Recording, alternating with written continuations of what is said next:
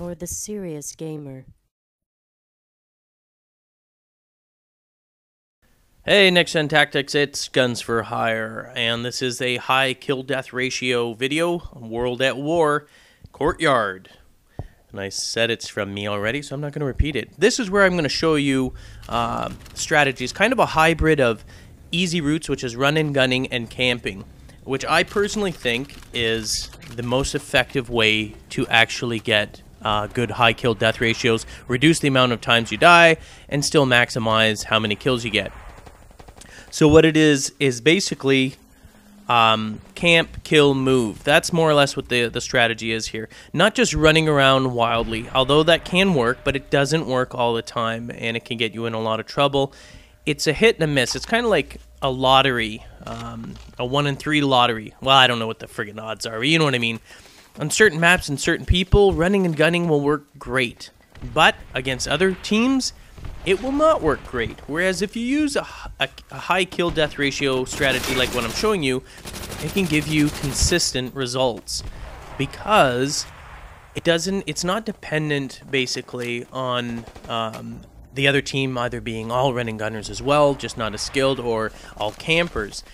It actually compensates for both types of players because what it does is it requires you to keep moving for those who are running gunners that are coming by when you're camping like I say when you're stopped, when you're stopped and you're actually firing your weapon and you get a kill. Anytime you get a kill and they watch the kill cam, or even if they don't watch the kill cam and they know where they got killed, there's a high probability that someone's going to chuck a grenade or they're going to come around from the rear and try and actually uh, snag you in that position.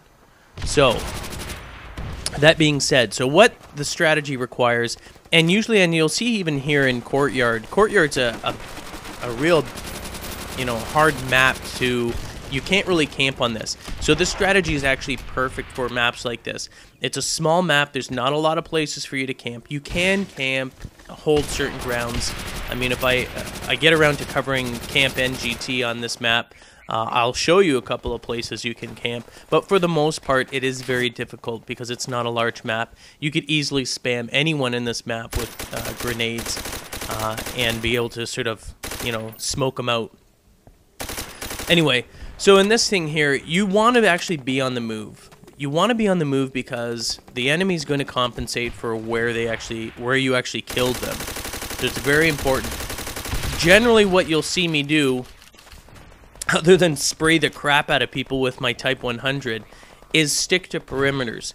Now, on almost any map, perimeters is a good idea. On larger maps, you can get away with going uh, in the inside because it's a lot easier. However, on small maps like this, if you run on in the interior, like going through the center, there is a higher probability that you're going to get crossfire because it's such a small map. People are running everywhere, and it's so quick. You're going to end up trashing it. And like I said before, if your concern is high kill death ratio, you're going to end up trashing your, your ratio there we go, getting some dogs. Running low. Oh, knifing is not very good in this. Although, I'm not saying I'm the best knifer, but the knifing... Knifing. Uh, knifing in this is actually very, very friggin' difficult to do. It's not like uh, Modern Warfare 2 by any means.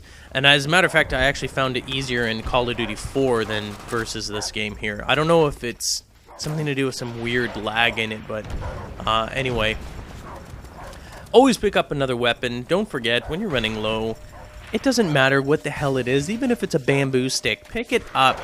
It's better than having two bullets left. Now, I thought this was... I'm pretty sure I thought this was... These were my dogs. Now, were these my dogs? Because it sounded like something was chewing on me. I can't really remember. I don't know. There we go. Getting some more. A little blinded. Freaking flares in this annoy me. I used to use them all the time too. It's very difficult to see anything and you gotta rely on your map. Anyway, as you can see, even though I'm moving constantly, I move and I stop in a sort of defensive position. So I'm moving, I try and find the next defensive position, and I stop moving again. If I'm in a position like in the side inside there, kind of like what a real soldier would do. High kill death ratio strategy that I use actually more or less reflects a more realistic, real life uh, soldier mentality, which is, you know, uh, clear a certain area, get up to a certain area, make sure it's clear, then move again. And that's really what they do. Um, I mean, they they wouldn't camp. Camping is not realistic either. I mean, if you're on a forward uh, offense uh, in terms of a war, you don't camp. You move. But at the same time, you don't just run out there like some moron. Um, not saying that running gunning is full of morons or whatever. yes, it is. Uh, anyway, you know it. It's just smarter to play. You know, move, stop, assess, and then move, stop, assess, and as you're going.